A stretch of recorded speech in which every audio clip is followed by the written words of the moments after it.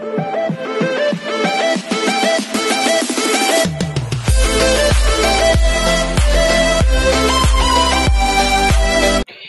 Everyone, this is KJP Vlog sa Filipino actor based here in Kid of Saudi Arabia and welcome back to my channel. Agad-agad gawa na rin ng reaction, reaction video na sa starter ako.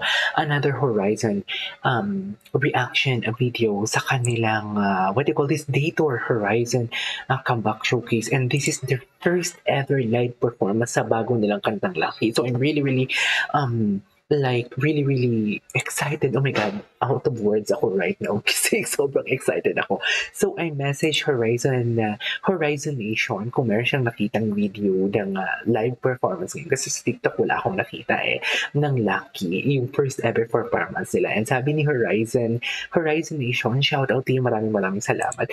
Na meron siyang nakita and then she sent me a link uh, from uh, Opa is Live. The Opa is, at the Opa is Live ang kanyang username sa sa X. Maraming maraming salamat. Thank you, thank you so much for this one. So I won't take any longer. I'm really, really excited to watch this. The um, performance of our boys Horizon, their day tour um, Horizon uh, comeback showcase. So without further ado, let's all watch this.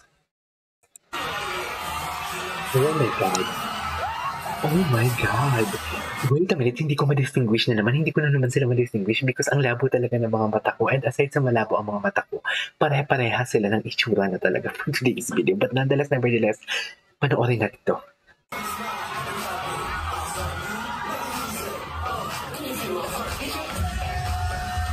Hello. Benji, oh my God! Oh my God, wait. Wait, wait. Sino nga yung sa una dito? Yung sa pinaka-right side na, sa right side sa gilid ni Benji. Sino yun? Ba't ang tangkad-tangkad niya? Hindi ko siya ma-distinguish kung sino. Is that Tonton, right? Kasi si Racer dito sa kabila. Si Tonton ba? Grabe naman. Tonton and Jerome magkadikit, no? Ang galing naman ni Tonton doon. Okay. Oh, I love the slow motion. I really love the slow motion. No, in fairness dito, ah, alam ko na sa first part pa lang tayo ng video. Pero parang feeling ko, mas gusto ko ang live performance nila kaysa sa the way they execute the choreography sa what do you call this, sa, sa music video. But it's really, really given naman na mas ma-appreciate ko ang live performance nila because this is live. There are no more like transition and everything. Parang tuloy-tuloy ang momentum, di ba? Kasi unlike sa, kung may mga transition na video, kasi for example, limang transitions sa isang music video, limang beses din nila sayaw, sayawin ng buo ang, ang lucky on kanilang choreography. So, basically, hindi talaga parehas yung momentum.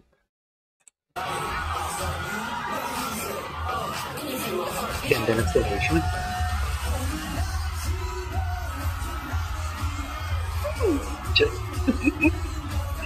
I'm so happy. Okay. Oh my God, I really love the footworks. Like, seriously, oo, alam ko din naman na maganda talaga ang footworks ng, ng Horizon. Pero ang ganda talaga nila panoorin talaga pag ang mga binti nila sabay-sabay bumuka and kumalaw. Ang daming tao. Naririnig ko ang hiyawan. Ganda ng footworks nila dun, dear. Aminin ninyo, sobrang ganda ng footworks nila dun. Ayun o. Oh. Pak! Love it! Chiro? Ay, grabe. Sino to? Si Vinci ba yun? Grabe naman yung katawan ni Vinci. Parang hindi ko yan napansin sa music video. Ito yung maganda pag gumagawa ko ng reaction video, lalo na kung live performance sila. Kasi may mga, may mga points talaga na kahit gaano mo ka-dissect sa movement nila or kahit gaano mo ka-dissect ng reaction video mo sa kanilang music video, meron at meron ka talagang mamimiss. Sa totoo lang. Grabe si Vinci doon. Ayun yung si Vinci sa gitna, di ba? Hindi. Wait. Hindi. Sana yun? Wait, wait, wait, wait. Saan na yun? Yung nagwawala. Ayan o, oh, si Vinci, o, oh, di ba? Ganda. Ang bilis ng movement na yun, pero sabay-sabay sila, ha? Ang bilis ng movement na yun.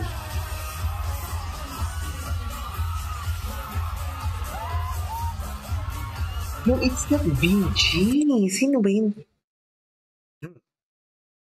Wait lang ha.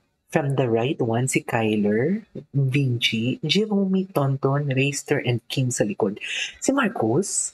Si Marcos yung sa gitna na parang may cap? Tama ba?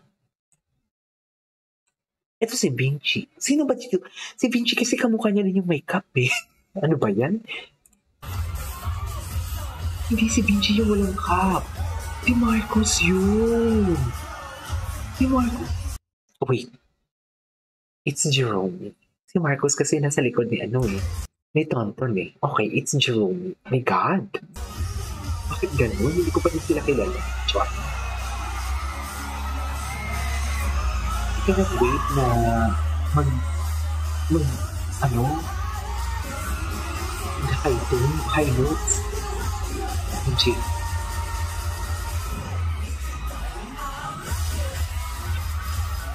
Yes. Oh, yes, I love that part. Mm. Mm-hmm. Okay.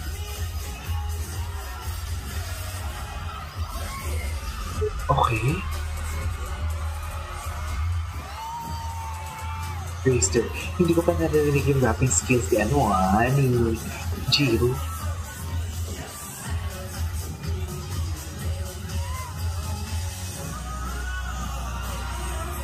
Oh my god, it's Marcus. It's Marcus, right? So basically, yeah, si Jerome yung parang nakaka. It's Marcus, it's Marcus, it's Marcus. Oh my god. Oh yes, I love the moves of Marcus. Eh,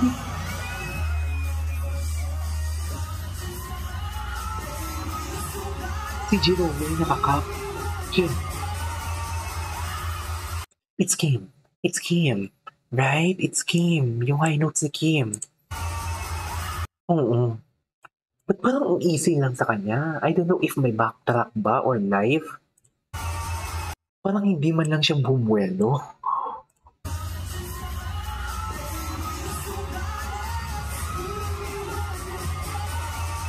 Oh, yan. Okay. Eh, yan.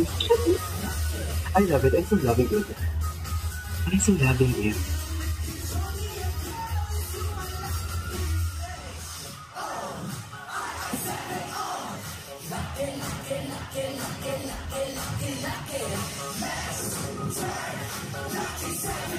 Okay. Grabe yung ano? Grabe yung lights nila. Eh, oh, I love that. I love that. Char. Okay. Wala, ang galing. Ang ganda ng choreography nila pala pag tuloy-tuloy ang momentum. Grabe. Grabe pala talaga yung ano nila, choreography.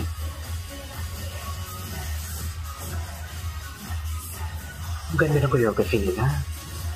Sobrang ganda. Ay, tapos na. Tapos na talaga. There you go guys. You so, uh, thank you so much. That is our for today's video. The Lucky, the new um comeback, the new comeback or the new song of of Horizon, Horizon Nation and Opa is like thank you, thank you so much for the said video. And yan, nag-enjoy ako and nakita ko yung sa wakas the first ever performance ng Lucky. This is KJ Vlog. See you next vlog. Bye!